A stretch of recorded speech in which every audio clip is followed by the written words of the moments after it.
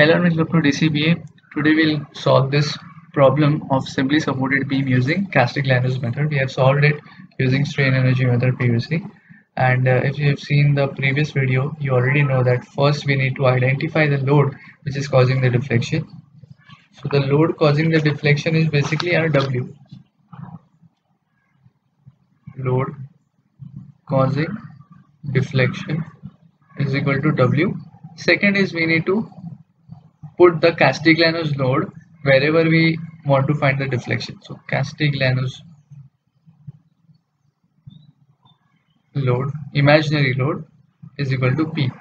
So I'll be putting P here on the same point in the downward direction because I want to find the deflection at this point.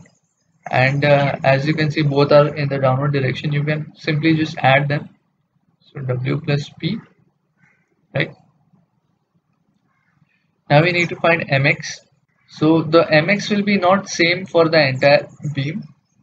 That is say if I take a section here the same x will not be continued after this point because whenever a point load occurs whenever a point load occurs you need to your your moment changes there. Okay.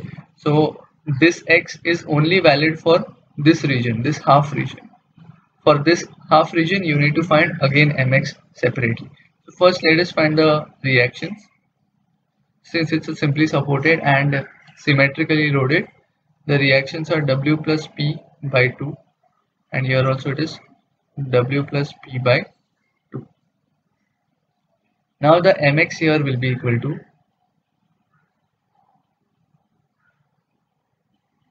W plus P by 2 into x and here also it will be w plus p by 2 into x. Okay.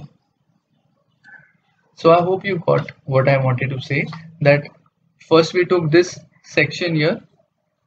If you if you are if you want to take this section throughout it will it is not permitted because we are having a point load here and a point load meaning there is a discontinuity in the moment. Okay. And that is why you can take this section only from A to this point. Let us let me name it as C. So you can take this from A to C itself. You cannot take it any further. To again explain you this more clearly let us just take a simply supported beam here with a point load at the center. As you know the moment diagram for this point load will be like this. Isn't it? WL by 4 or something like that right? WL by 4 value so if you see this this moment equation is only valid for this much part. Because after that it is decreasing. And if you if you continue with the same x uh, even after this point you will get you will get the moment even increasing further which is wrong basically. So whenever a point load occurs you need to change your moment equation. You cannot simply continue this moment equation for throughout the beam alright now we write the mx equation. Mx is equal to what? W plus p by 2 into x. Then we need dou mx by dou p. That is partial derivative of mx with respect to p which is equal to 0 plus 1 by 2 into x which is equal to x by 2 okay and now we, we can find the deflection delta. As you see both the mx are same delta equal to. Now x is going from 0 when x is equal to 0 and it has to travel till this point only isn't it? Till this point only because our moment equation is valid only till point c. So it has to travel a length of l by 2 so 0 to l by 2 and to take the entire beam I'll just multiply it by 2 so it will be applicable for the total beam. Mx is what? W plus p by 2 into x into x by 2 this dou mx by dou p into dx divided by ei so we'll take this outside and it will simplify it.